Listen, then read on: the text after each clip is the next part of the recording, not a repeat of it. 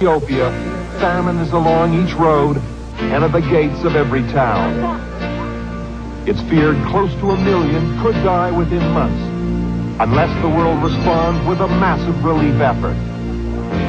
As every day goes by, how can we close our eyes until we open up our hearts?